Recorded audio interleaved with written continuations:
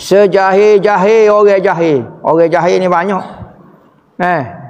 Tetapi hak paling jahil sekali orang yang jahil ni maknanya tak tahu. Orang yang tak tahu ni banyak.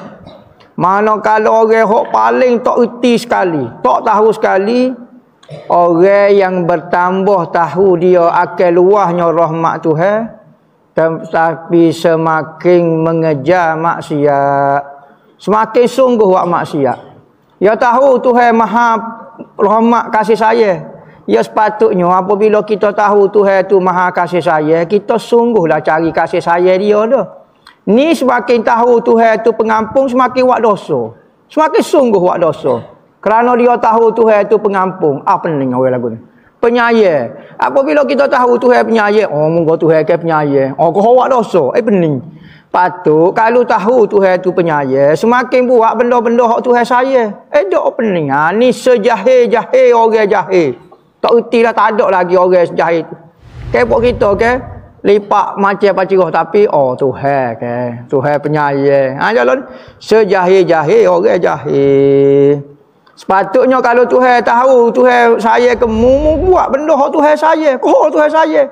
Ni lawan pula. Sekali nak uji saya tu hai pula. Kau kuat no. Eh. Ha. Man hadasa nafsahu bitaubah minaz zambi qabla wuku fihi da'ahu zalika ila fi'lihi. Siapa dia yang terlintah di hati dia untuk bertaubat daripada dosa yang dia tak buat lagi. Berarti dia telah cita-cita nak buat maksiat tu. Eh, yang boy nak nak taubat ah. Tobat tajuk kau tahu tajuk nak Aku mana yang nak minta maaf daripada curi. Dia mau curi, tak curi lagi. Ah berarti dia mau mikir nak curi dah tu. Sebab nak taubat dah. Nampak memang tajuk taubat. Taubat daripada maksiat. Tapi maksiat dia mau buat eh. Tak buat lagi. Wah, dia mau nak buat tu. Nak buat tu. Ha, tu dia kata. Orang yang bercita-cita taubat daripada dosa yang dia tak buat lagi. Kita tak pernah berzina. Tiba-tiba kita, eh mana eh nak taubat daripada zina. Eh jangan rekod lah takut-takut kita membawa kepada buat benda tu. Eh. Masalul ladzi yuznibu liyatuba masalul ladzi yudannisu badanahu wa siyabahu liyartasila wa ma hakaza yang bagi innama yang bagi an yahtariza minad danas minad danas mastata'a. Summa in waqa'a bi hukmil ghaflah was sahwi kanal wajib alaihi tanazufil hal. Perumpamaan orang yang buat maksiat untuk bertobat.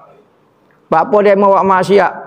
Oh boleh tobat boleh pahala tobat.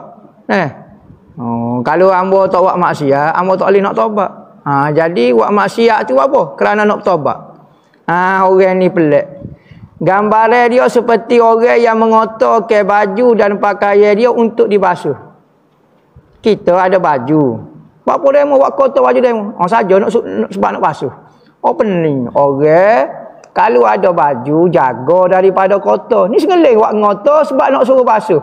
Ai buat kerja lagu ni tak betul katanya Imi Hadap. Buat kerja ngotor ke baju, kotor ke tubuh kita untuk kita basuh mandi. Ya berat. Ya patut kita jaga baju tu daripada kotor tu. Nak kata lagu mana kalau kotor barulah kita basuh. Eh. Ya sepatutnya seorang itu berjaga-jaga daripada kotor sekadar dia mampu.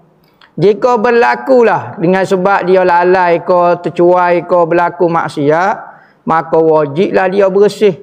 Maka hak tu baru betul. Bukan kata sengeling buat kotor untuk basuh.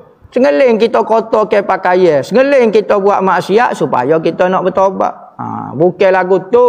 Kalau berlaku terbuat maksiat. Ataupun yang ada lah lalai kurang iman kau hari tu.